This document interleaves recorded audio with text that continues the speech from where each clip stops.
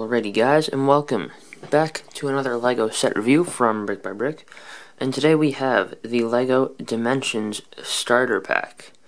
And this is pretty cool. Um, it's obviously a video game. If you guys don't know what LEGO Dimensions is, it's basically a game where you can take heroes from basically, I think 14 different themes, if I'm not mistaken, um, including the Lord of the Rings, DC Comics, um, and the Lego Movie. Those are the three included with the starter pack. Um, I currently only have a couple um, uh, fun packs along with this, and those fun packs would be the Nya, Z um, Jay, and Zane fun packs. Those are the only other ones I have, which, um, you know, but there are a bunch more, and I hopefully will be getting some. There's a couple that I'm looking forward to. You do get this cool poster um, that shows all of them it's double sided. One side's in English, one side's uh, in Spanish and French, I think. I don't know. But um, I'm not going to unfold it because I don't have enough room right here to show you. I might do another video later showing that. But um, you do get one instruction booklet. However, the instruction booklet um, is also the instru th This is the instructions to build the portal. It's also in the game, um, which you know is interesting. And um, you will notice that, um, I'm going to point this out right here. I am partway through the game. These pieces here and this thing right there, which I guess I can um, build up and just put them there to show you. Um, but these things, like all the keystones, um, originally, like before you uh, play the game, they're all, you can see how they're on the portal there.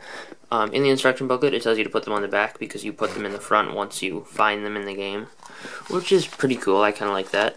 And then also, um, this guy here is X-PO. Um, I'm not going to talk a lot about him because he's kind of a important part of the game.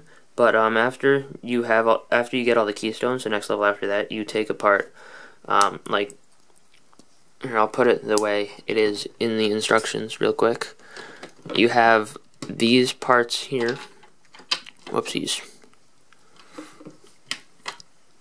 You have those little parts which I can't seem to put on.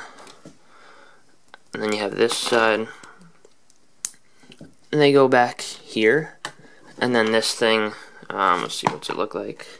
It's got the, um, this thing here, the lever pointing upwards, and this thing goes through like the back, I think. Right.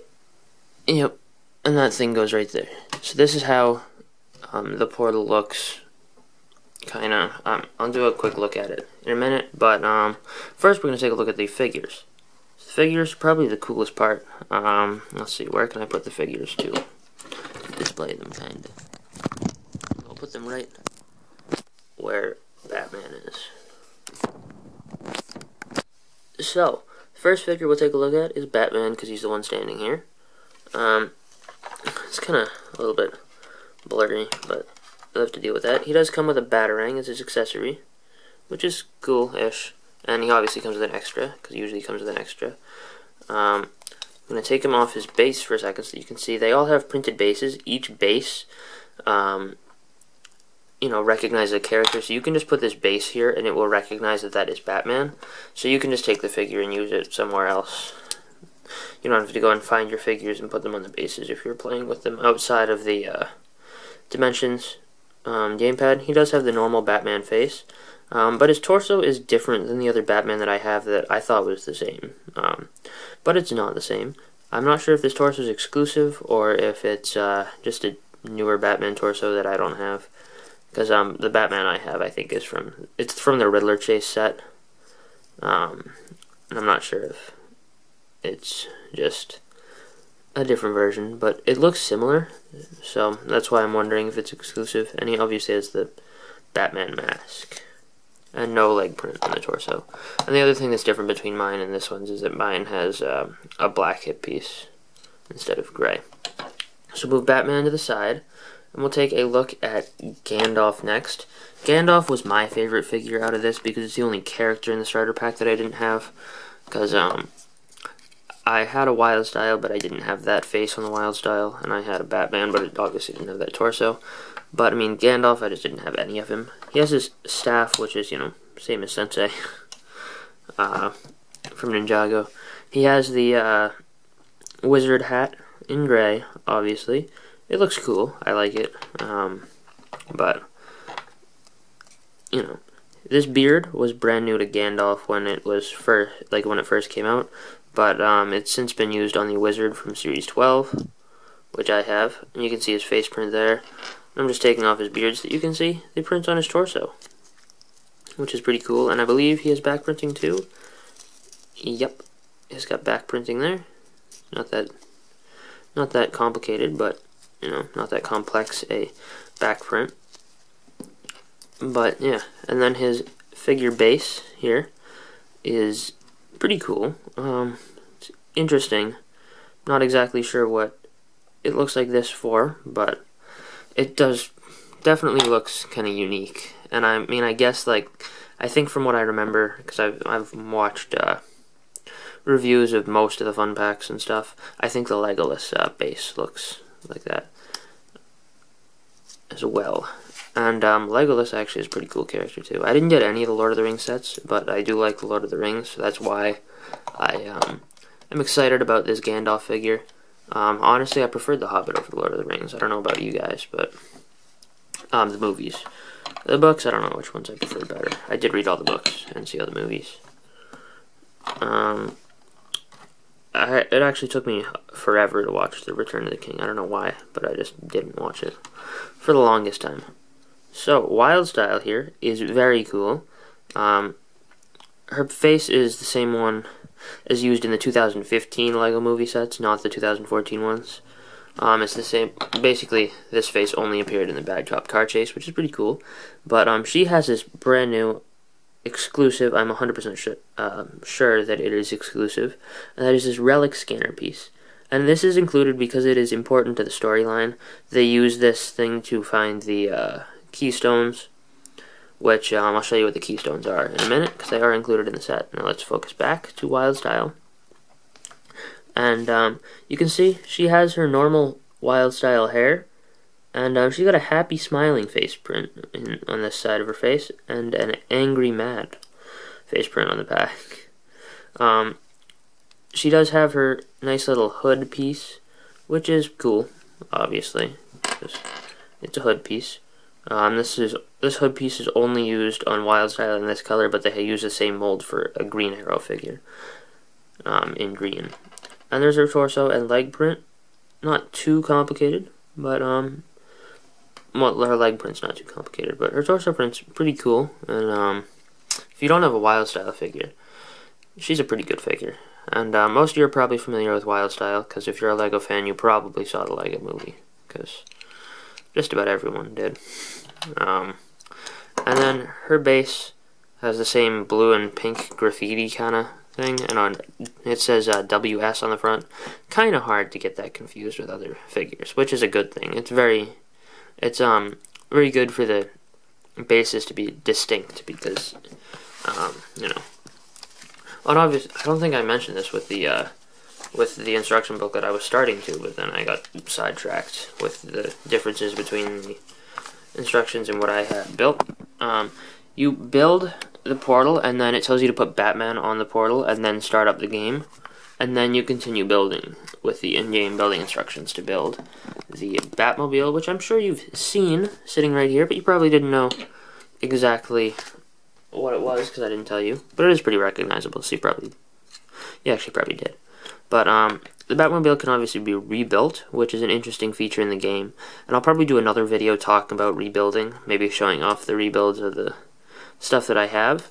Because I have, I mean, I've played the game quite a bit, I guess. I'm halfway through the story mode. Um, but I did go into the Lord of the Rings hub world and steal the Dwarf's Bounty red brick. So then I got a bunch of studs and basically upgraded all the vehicles I have. Um, so, you know.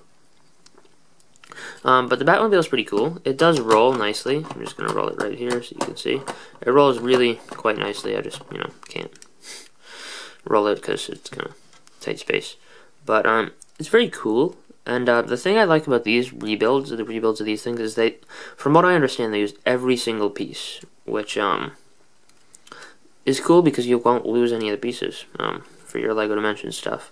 So it's pretty cool. It is micro scale, but um, this is actually one of the better um, fun pack builds, uh, or not fun pack builds, but um, vehicle builds. Um, because it, you know, one of the better micro scale ones, just because it looks the same in the game.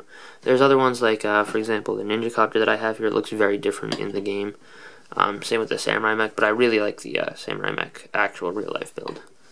But, um, you know, obviously, um, this rebuilds into the Bat Blaster and the, uh, I forget what the last one's called, but it kind of looks like a, it's got the big, like, tail on the back. It's interesting. Um, but you know, all these uh, little fun pack builds are okay. Um, and I will do more talking about that when I review actual fun packs. But um, here is the LEGO Dimensions um, portal base kind of thing.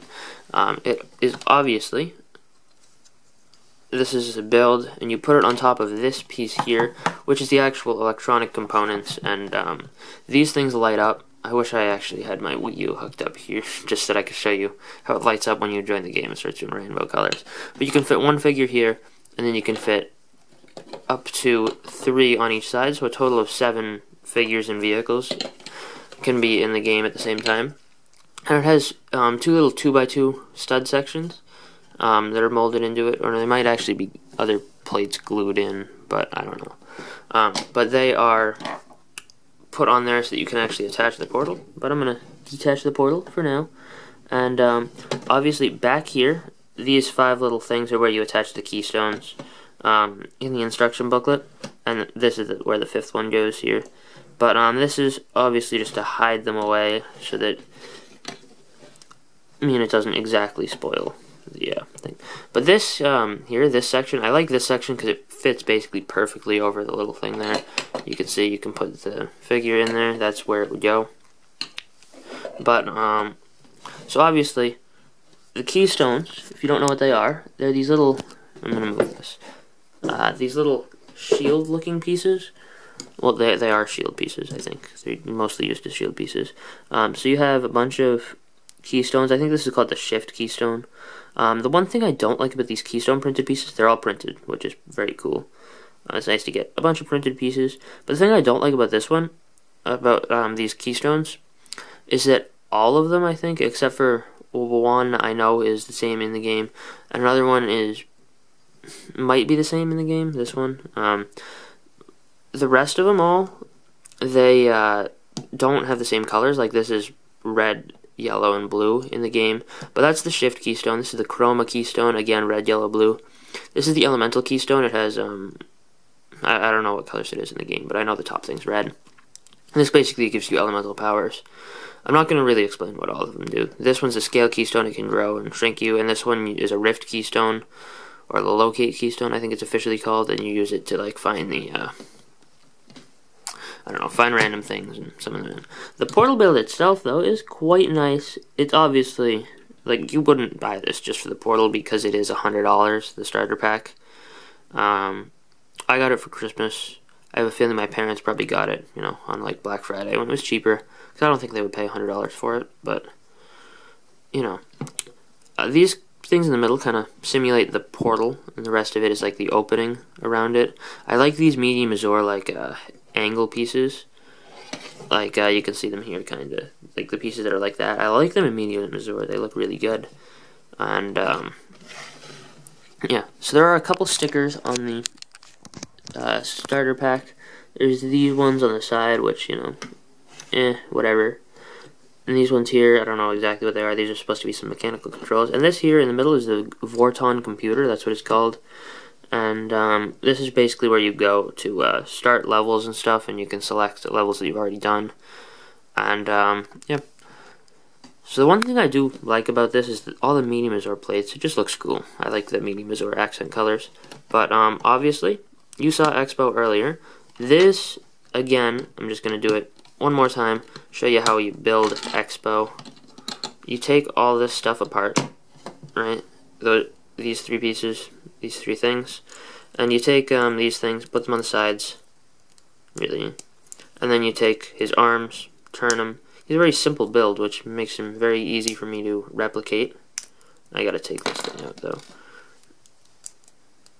And then you take this lever, flip it backwards, put that stud on the front, and then go like that. I know it was kind of fast for you guys. You probably couldn't tell what I was doing, but there is X-PO. He's a pretty cool character, kind of funny. He's a, like uh, I think in the first cutscene that you build him, he's like, "Oh, it's kind of hard to assemble your. Uh, thanks for putting me back together. It's kind of hard to assemble yourself when you don't have arms or something like that." He says something similar along the lines of that. You can just hang them on there if you don't want them to fall. That's what I do because I um well that that's what I did when I brought my uh you know the Lego Dimensions starter pack up here so that I could review it. Um, because my Wii is downstairs. Um, but yeah, I obviously um, got a Wii U for Christmas. So anyway, um, and it obviously has the cord attached. Like you can't take the cord off of the base thing, so that's why there's a cord here. But um, and there's also a Lego logo here, which is printed. Um, I think. Um, if you didn't notice that. So anyway, I hope you guys enjoyed this video. Please um, rate, comment, and subscribe if you did. Uh, I will be doing, hopefully, some more LEGO Dimension stuff. I might be doing some unboxings, possibly. I didn't do it for the fun packs because, um, obviously, it was Christmas. My whole family was here. Um, you wouldn't have been able to hear me, probably, if I did. I didn't have a bunch of space because, you know, I put all my stuff on my desk for some reason. All the stuff I got for Christmas. so, you know. Yeah, I was kind of out of a recording studio. Whoops. Which is why this is a little late coming out. I did do, I did anticipate for that and do a bunch of pre-recording before Christmas. Just because, you know, I figured this would happen. So anyway, I hope you guys enjoyed this video. Please rate, comment, and subscribe if you did. And have a fan-fantastic day. And I'll see you guys all next time. I may try and get a capture card to record LEGO Dimensions, some gameplay of it. But I'm not sure if that's going to happen, so don't quote me on that. Um, but yeah, I hope you guys enjoyed the video, and I'll see you guys all next time.